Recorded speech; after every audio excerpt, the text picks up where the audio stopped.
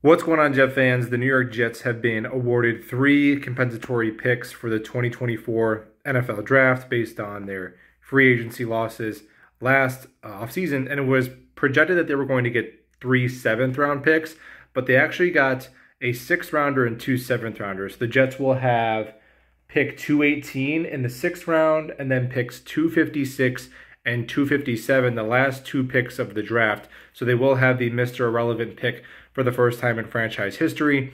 Those are official now.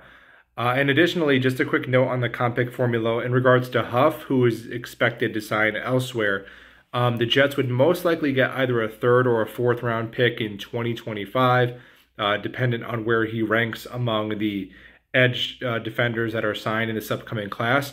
But it's not unless the Jets sign a free agent um, to a contract greater than Huff gets with another team, then it would cancel it out. So the whole idea is that your your uh, teams are being compensated if they're losing more than they're gaining in free agency. So something to keep an eye on with Huff. Uh, and now we got some extra picks to play with, and we'll talk about soon.